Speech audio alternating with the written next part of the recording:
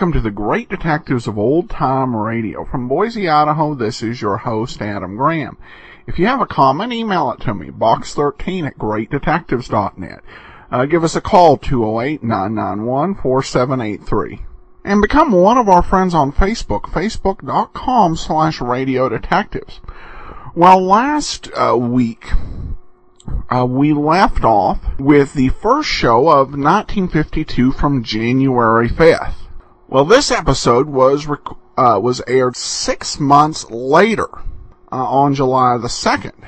However, there was only one episode in between. On January 12th, The Baxter Matter aired, and then after that, Johnny Dollar left the air.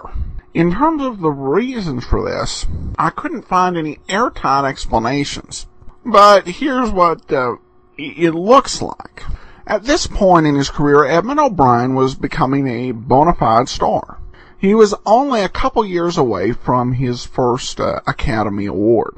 And 1951 had marked a historic year for radio and television. It was the first year that television brought in more advertising revenue than radio and there was a lot of money for actors to appear on television. At the same time, radio stations had to begin to pare down their uh, uh, budgets to survive. So that economic dynamic on the part of O'Brien and or CBS probably had a lot more to do with Johnny Dollar leaving the air than concerns over something such as ratings. Given that CBS invited Edmond O'Brien back uh, to do a summer series of Johnny Dollar.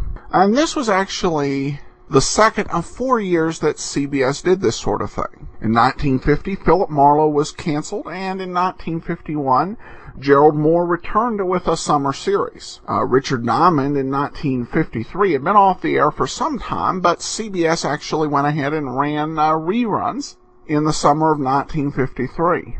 And in 1953, Broadway's My Beat was canceled, but would return in the summer of 1954. This was the second of four years that this occurred.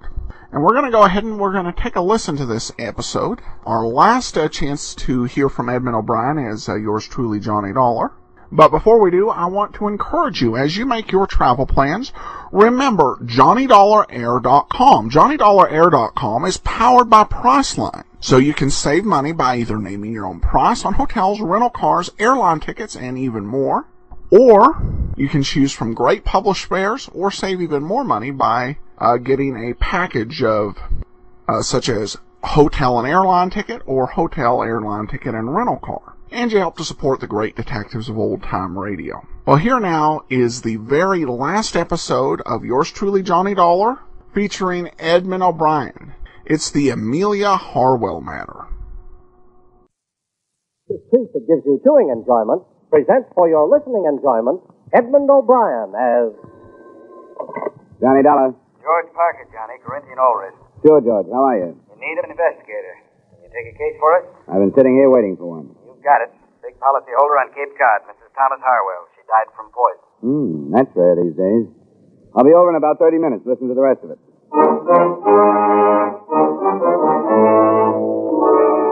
the makers of Wrigley's Spearmint Chewing Gum bring you Edmond O'Brien in a transcribed adventure of the man with the action-packed expense account, America's fabulous freelance insurance investigator. Yours truly, Johnny Dollar.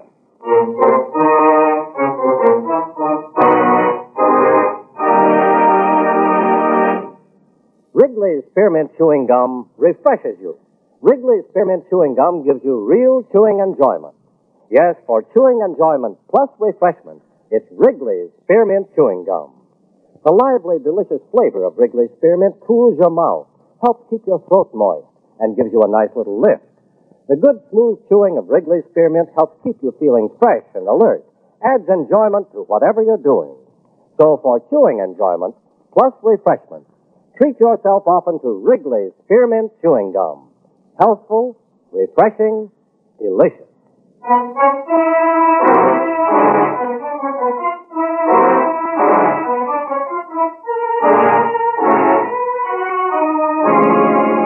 Expense account submitted by Special Investigator Johnny Dollar to Home Office, Corinthian All Risk Insurance Company, Hartford, Connecticut.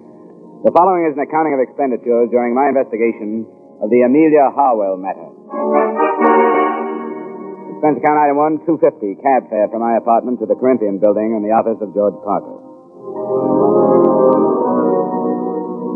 Well, first, do you know the Harwell name? Are they the textile people? That's right. Strange sort of family.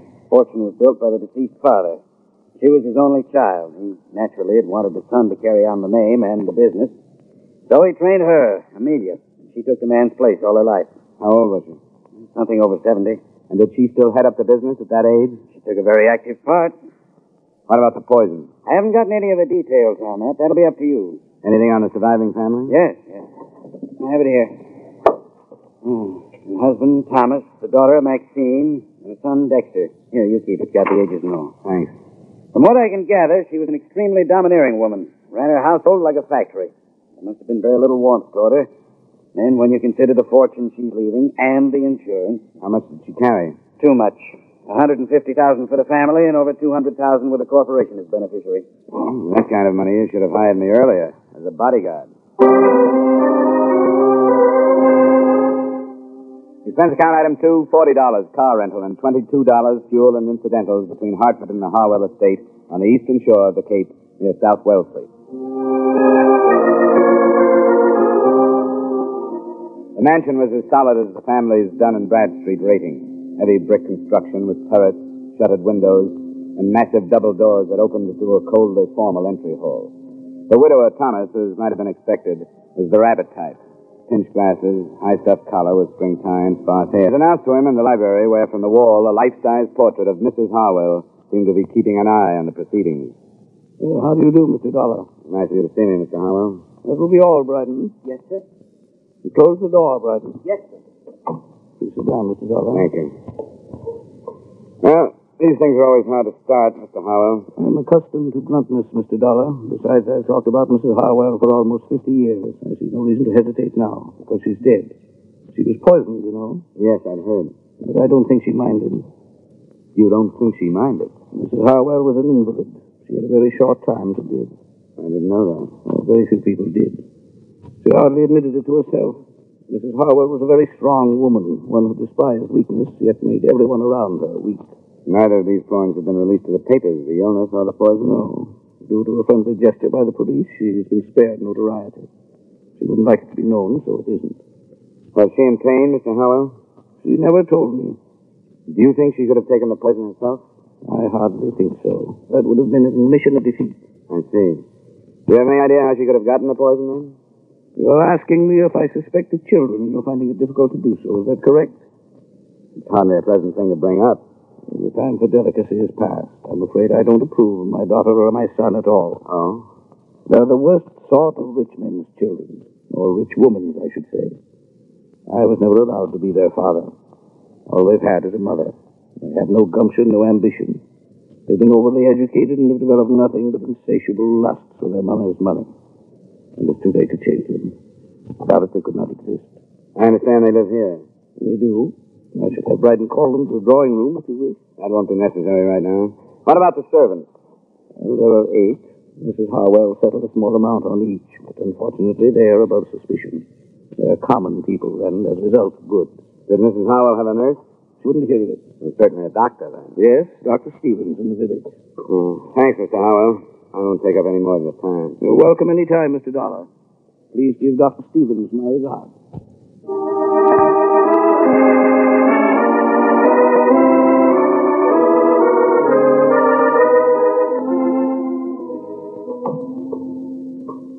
Mr. Dollar, the Harwell case passes from my hands into yours.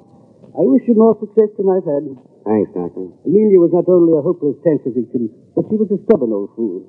I could have saved her life with surgery three years ago, but I made the mistake of advising her, and advice was something she could not accept. You've been friendly with them that long? I tended them longer than that, but friendly is hardly the word. I brought each of their children into the world, but have yet to use the given names of any of them in their presence, Betty. Hmm. Oh, I'm glad to talk to somebody like you. I found talking to the old man a little rough. I'm used to survivors being sad about death or suspicious or something. I'm afraid that with Thomas, instead of a feeling of grief, it's something akin to passing from slavery into freedom. And the children, are they as worthless as he makes them out? I'd say so. Maxine, the oldest, is a bitter, frustrated old maid of 33, and Dexter, 32, is an alcoholic. and has just entered into an unsuccessful marriage. Do you think either of them could have killed their mother? I'm in no position to accuse any of them, but there is the inheritance and your insurance. Fine household. How long would you have lived? Hard to say. Two months, possibly three. The family know that? I've been honest with them. Then why kill for profit? I don't know. Could it have been a mercy killing? I've wondered. It doesn't sound like them. to Take a risk like that, but it's a possibility. What kind of poison was it? I don't know. I've been asked to attend the inquest this afternoon. If you'd like to call me at home this evening, I'd be glad to tell you what I've learned. Thanks, Doctor. I will. So far, except for lining the family up and accusing them one by one, I can't seem to map out a move. What about this marriage you mentioned? Dexter, I don't know much about it. The girl's name is Gretchen Nielsen. She owns a small photographic studio just down the street. Small business, huh? It's below Harwell standards, isn't it? That is probably the cause of the trouble. I don't doubt that Amelia wouldn't let her in the house.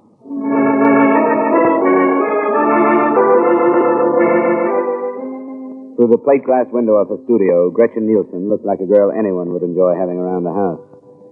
She lived up to her Nordic name, fine straight features, warm blue eyes, the look of strength about her. I got her home address and knocked at the door of a small house 15 minutes after she arrived home that evening.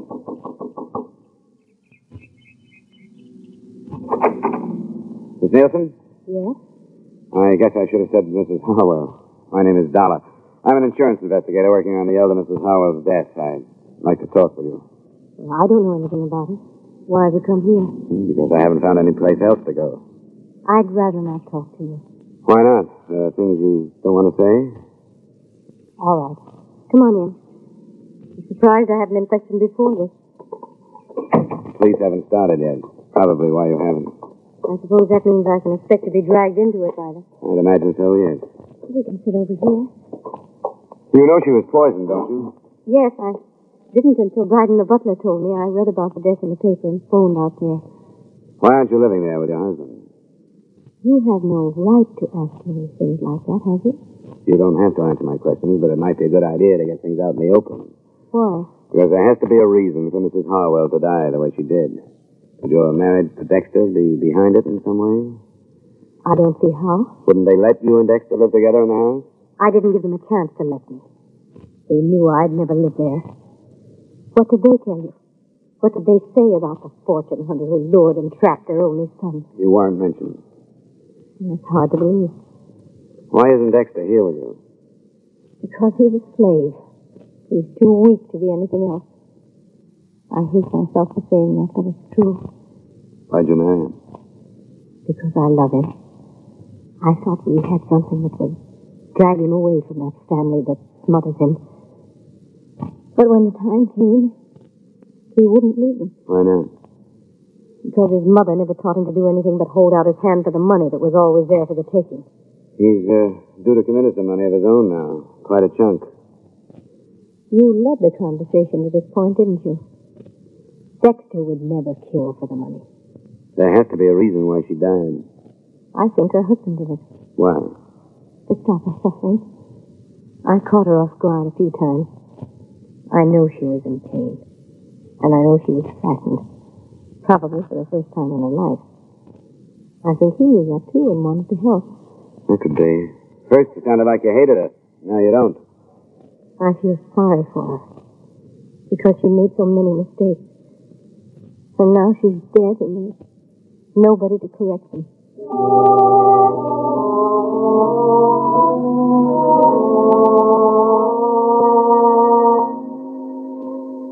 I didn't string out my meeting with Gretchen Harwell and May Nielsen. I left, went to my hotel, and at 7 phoned Dr. Stevens. His report on the inquest brought out, among other things that didn't seem important at the time, this point. The cause of death was a non-alkaloid poison, administered in suicide or by person or persons unknown. The poison was hardly the type to choose either for suicide or a mercy killing. With what I had, I went out back to the Harwell residence. I'm sorry, sir. Mr. Harwell has retired. Is the rest of the family up? Yes, sir. I wonder if you'd tell them that I'd like to see them. Very well, sir. If you'll wait in the library, I'll tell them you're here.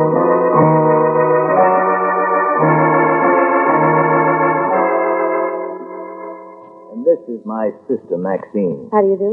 How do you do? Now, What do you want? I understand both of you were here the night your mother died. Yes. I've just gotten the verdict of the inquest. The poison that killed her was not a pleasant one. Did any of you hear any sound shortly before your mother was discovered dead? I didn't, and I found her. I went in to bid her good night. I didn't hear anything. I was in my room. Where's that? Just down the hall from Mother's. What's the meaning of this anyway? The point is that your mother would have cried out. The poison would have been. Uh, what's that? It's Father. He's in his room. Something's wrong. I'm going up to see. I went with him. We found Mr. Harwell in bed, clawing at his throat and staring at the ceiling. When I bent over him, he moved a hand towards a glass of water on the bedside table. I picked it up and smelled it.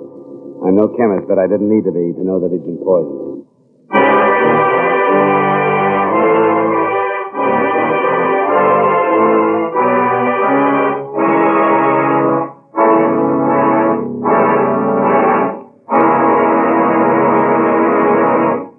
Friends, wherever you are, whatever you're doing, you'll enjoy chewing Wrigley's Spearmint Gum. Chew Wrigley's Spearmint while you're working. The lively, full-bodied flavor of Wrigley's Spearmint gives you a refreshing little lift. The smooth, pleasant chewing of Wrigley's Spearmint Gum helps keep you feeling relaxed and satisfied. Makes your job seem easier. Chew Wrigley's Spearmint Gum in your home, when you're out walking or driving, when you're enjoying outdoor sports and other activities. Wrigley's Spearmint Gum tastes good anytime, and the natural chewing aids digestion and helps keep your teeth bright and attractive. Yes, wherever you are, whatever you're doing, you'll enjoy chewing Wrigley's Spearmint Chewing Gum. Healthful, refreshing, delicious.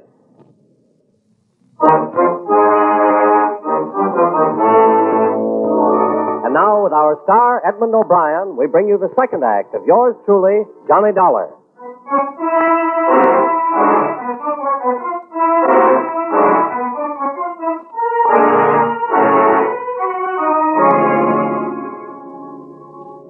I tried to read something in the expressions of the son and the daughter as we stood for a moment around their father's bed. There wasn't much in them. No surprise, no fear, no satisfaction. Maxine looked a little embarrassed and left to phone Dr. Stevens. Dexter looked a little vague and said he thought he knew where a medical book was. And I was left alone with Thomas Harwell. Mm-hmm. I'm all right. I'm all right.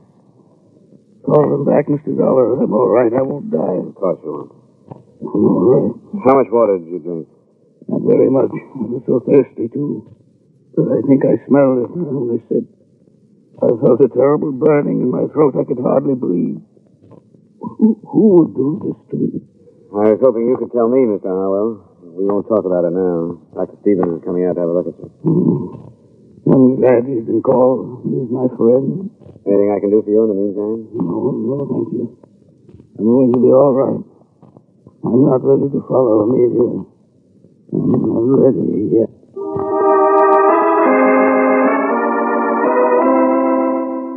I took the glass of poisoned water with me when I left the room. I put it on a table in the hallway outside his door and stayed with it until Dr. Stevens arrived. He spent about 15 minutes with Mr. Harwell, and then he joined me.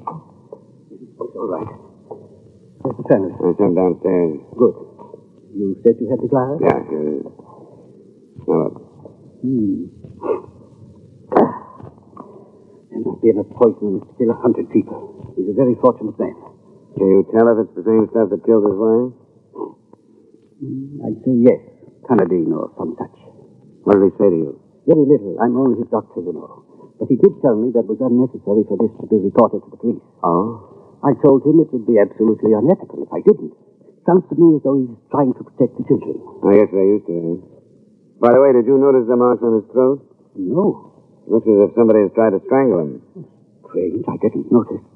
Will he all right if I talk to him now? Oh, I think so. I gave him a very mild sedative, but it won't go to work for a while. Uh, do you want me to wait? Not unless you think you should. He doesn't need me any longer. And if you'll stay here in case of another attempt. I will. I'll call you if anything develops. Fine. Good night, Mr. Dollar. Good night, Doctor. Yes?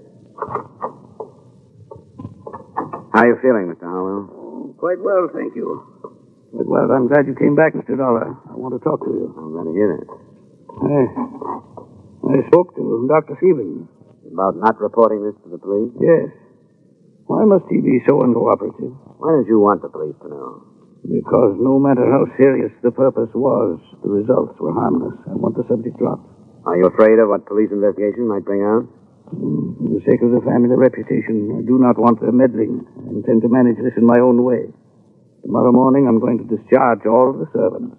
You told me earlier that they were all above suspicion. You remember? Oh, in this attempt upon my life, I thought they were. It's hard to understand, Mr. Harwell. If you really think that one of the servants tried to poison you, you must realize that the same one killed your wife. Still, you want the matter dropped. I do. Amelia is gone. And I see no possibility that she will return because I bring about for myself and my family the unpleasantness of police interference. You may believe in your logic, but I'm sorry it won't work. It'll have to be reported. Then, young man, leave this house. I didn't want you here. You will never be allowed under this roof again. All right, Mr. Harwell. Good night.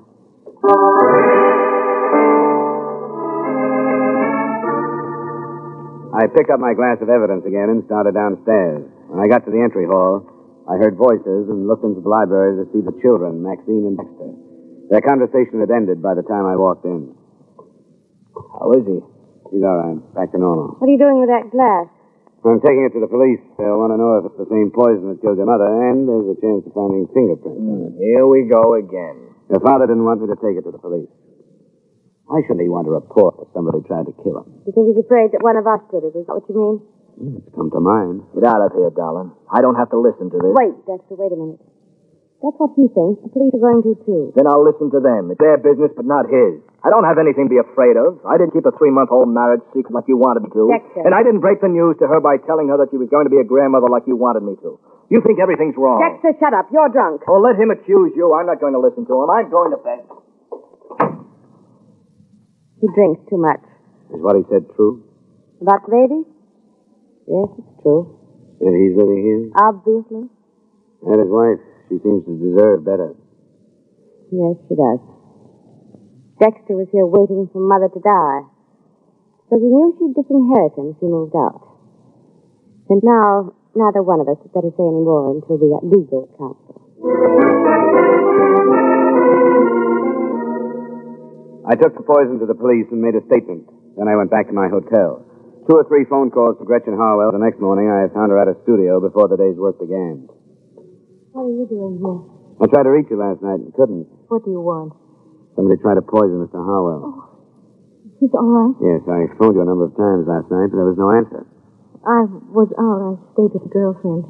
And you left a few things unsaid the last time we talked. Didn't you? You found out about the baby. Yeah.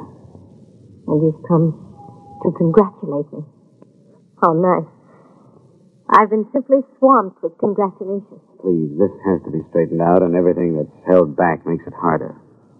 What does the baby have to do with it? Well, it makes a motive stronger than ever for Dexter. He wouldn't kill his mother. I was told he'd be disinherited if he left the family manse because of the marriage you kept secret. Where did you hear that? Came out last night. He didn't kill his mother. How about trying to kill his father? No. He was trying to help us. The father? Doesn't sound quite right. I know it doesn't, but it's true. Dexter didn't even realize it, but I did to him. Mr. Harwell had never done anything in his life, but he tried to help us. Why? Because when he married her, he must have had a personality. His mother didn't approve of Dexter and me, but I think his father did. You didn't keep it a secret from him? For a little while. Until I insisted that we tell him. And he kept it from Amelia. Do you know why? Because she was the dictator. When she was sick, she was worse. She'd think Dexter had waited until she was helpless before marrying the girl he wanted to. But she found out and was poisoned before she could do anything like dropping Dexter from her will. I don't care. I don't care. I'll even say that Dexter did have reason to kill his mother. But he never would. And not his father. You aren't trying to protect him, are you? Of course I'm not. I don't care how much I love him. I wouldn't want him if he were a murderer.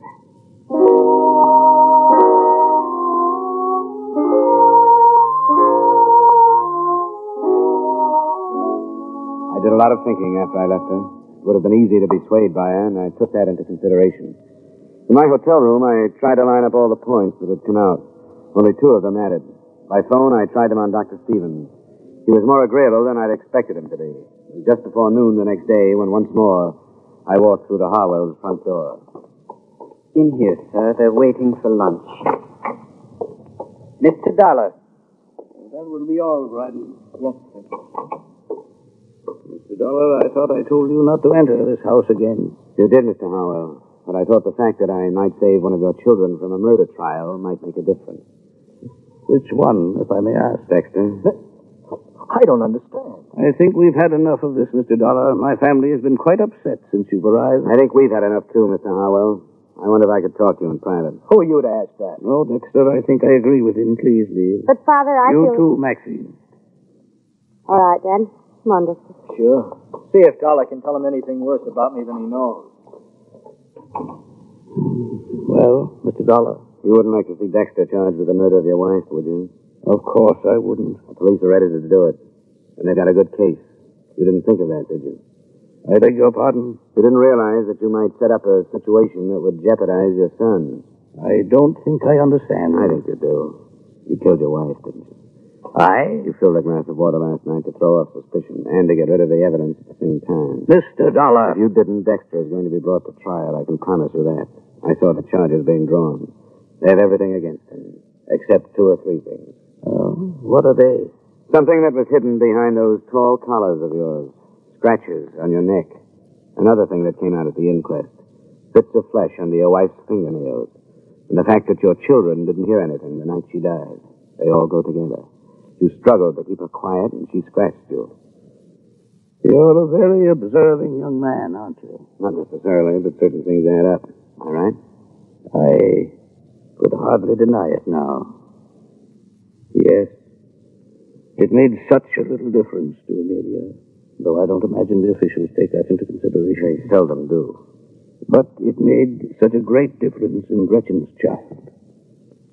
I've made many mistakes with my own children through deference to my wife. I'd hoped that I could help my grandchildren through strength. Strength enough to do what I have done as a child through Dexter. I had hoped that Amelia, when she knew that a life was being given while hers was being taken, would be glad to approve, but she didn't. She asked for a lawyer so that she could change her will, and I knew what I had to do. I'm sorry, Mr. Harwell. There are many things to regret, Mr. Dollar, many things. But hastening my wife's death. Her life was decayed. The life she did not want that I did want. So fresh and new it doesn't even know what hope or helplessness can be. Forgive me, Amelia. Amelia. Forgive me.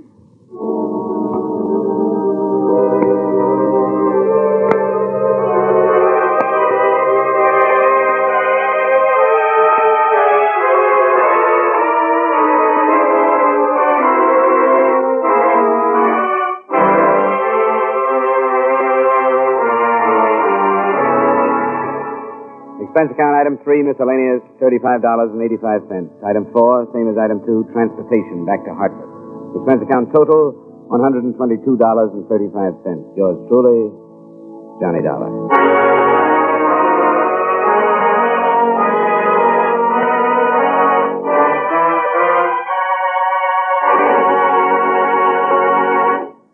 Remember, friends, Wrigley's Spearmint Chewing Gum refreshes you. Wrigley's Spearmint Chewing Gum gives you real chewing enjoyment. The lively, full-bodied flavor of Wrigley's Spearmint cools your mouth, freshens your taste, sweetens your breath. The smooth, pleasant chewing of Wrigley's Spearmint helps keep you feeling relaxed and satisfied, makes whatever you're doing more enjoyable. Yes, for refreshment plus chewing enjoyment, treat yourself often to Wrigley's Spearmint Chewing Gum. Millions enjoy it daily. Get a few packages and always keep some handy. That's Wrigley's Spearmint Chewing Gum. Healthful, refreshing, delicious.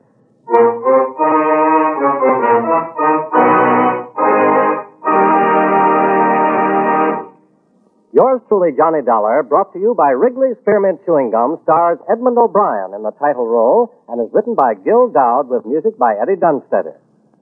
Edmond O'Brien can soon be seen starring in the Paramount Pictures production, The Turning Point. Featured in tonight's cast were Victor Perrin, John McIntyre, Herb Butterfield, Jeanette Nolan, Virginia Gregg, and Peter Lee. Yours truly, Johnny Dollar, is transcribed in Hollywood by Jaime Del Valle.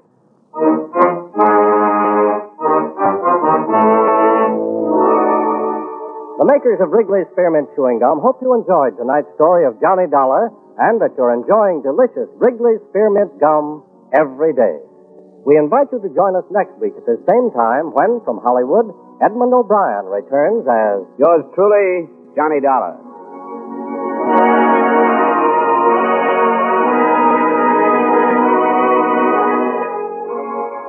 This is the CBS Radio Network.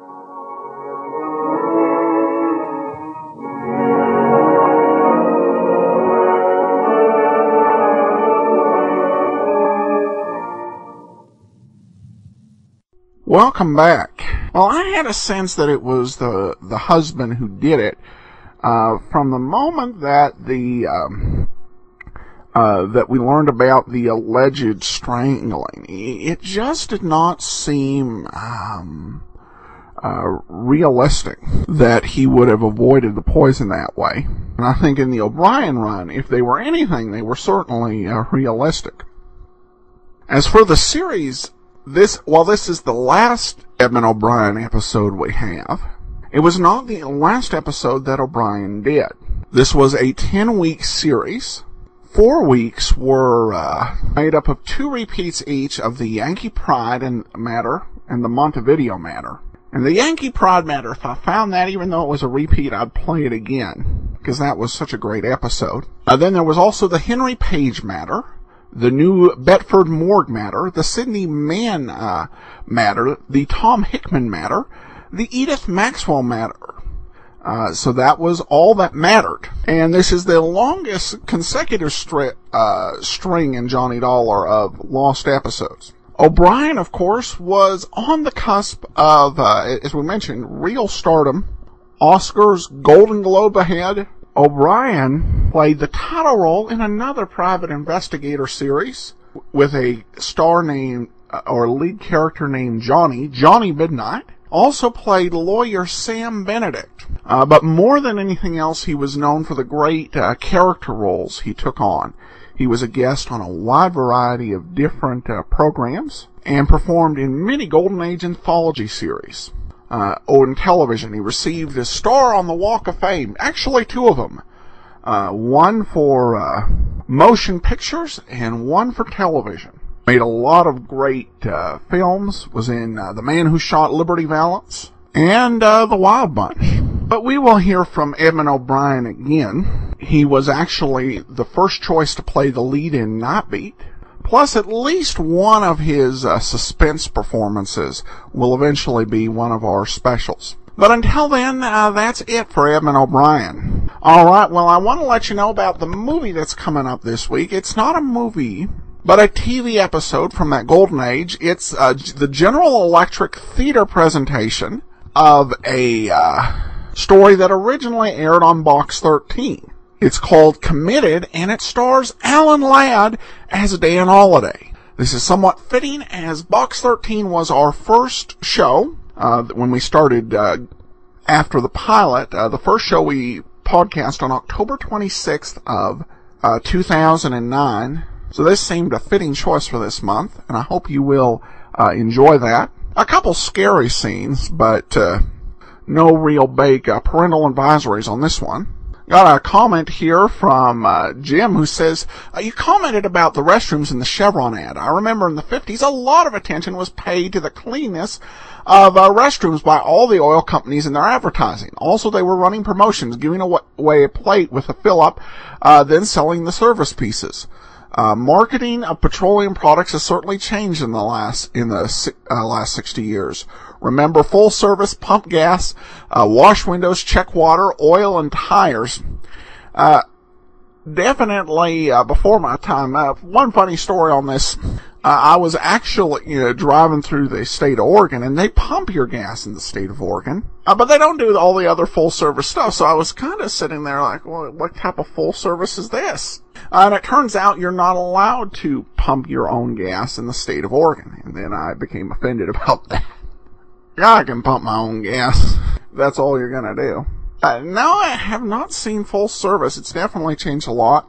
Uh, he comments further, I've been listening uh, since the early days of Dragnet. Keep up the good work. And P.S. to me, these programs are nostalgic.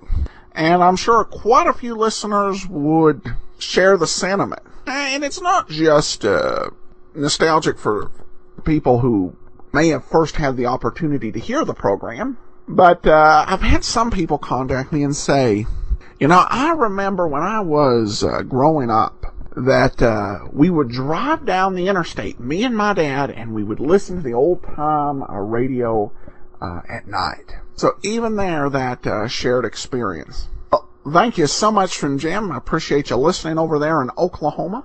We will be back on Monday with Barry Craig Confidential Investigator. And we'll be back next Friday to introduce you to a new Johnny Dollar in John Lund. In the meanwhile, uh, uh, send your comments to box13 at greatdetectives.net. Follow us on Twitter at Radio Detectives and give us a call 208-991-4783. But from Boise, Idaho, this is your host, Adam Graham, signing off.